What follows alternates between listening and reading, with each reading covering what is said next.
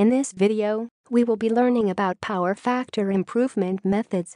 But, first, let us know what do we mean by power factor. The term power factor comes into the picture in AC circuits only. Mathematically it is the cosine of the phase difference between the source voltage and current.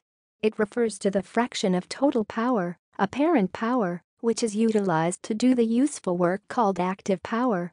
We can see here that power factor meters do have cos phi printed in the meter display. Now, we will see how power factor can be improved. While the ideal power factor, PF, is unity or 1, most industrial loads have a PF lower than 1. Moreover, this lower PF is usually inductive, arising out of the windings of transformers, motors, and the like. These loads consume kVARs, the wattless component, from the supply line. The principle of PF compensation is to supply these kVARs via a capacitor located close to the load, reducing the current drawn from the supply line. Let's see the methods for power factor improvement. First method is static capacitor. The power factor can be improved by connecting capacitors in parallel with the equipment operating at lagging power factor.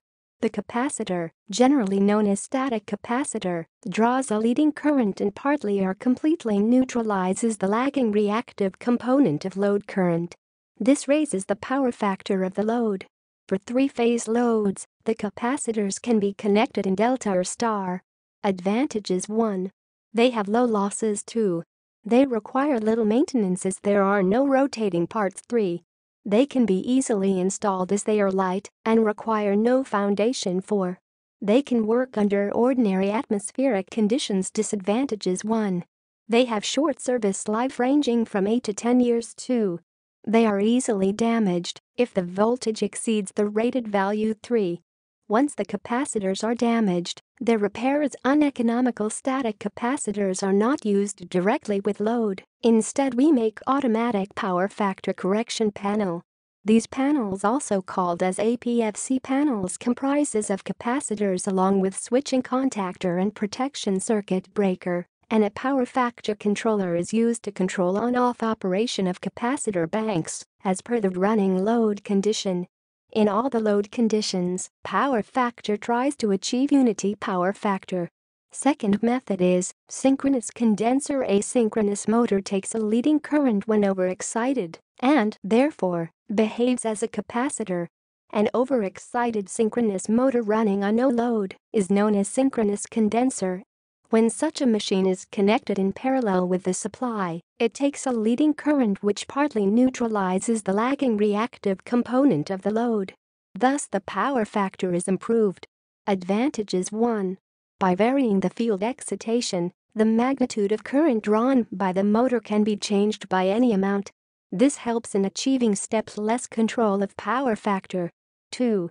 The motor windings have high thermal stability to short-circuit currents. 3.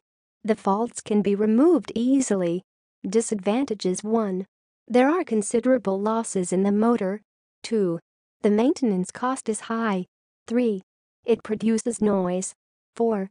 Except in sizes above 500 kVA, the cost is greater than that of static capacitors of the same rating. 5. As a synchronous motor has no self-starting torque, therefore, an auxiliary equipment has to be provided for this purpose. Third method is phase advancers. Phase advancers are used to improve the power factor of induction motors.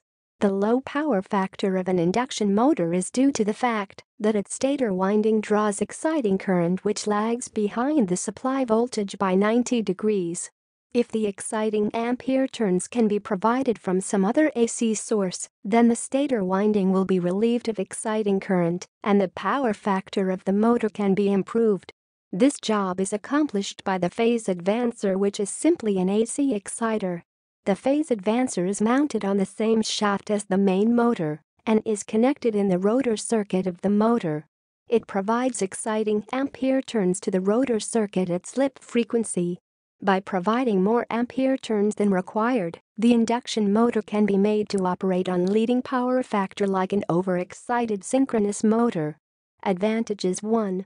As the exciting ampere turns are supplied at slip frequency. Therefore, lagging var drawn by the motor are considerably reduced. 2. The phase advancer can be conveniently used where the use of synchronous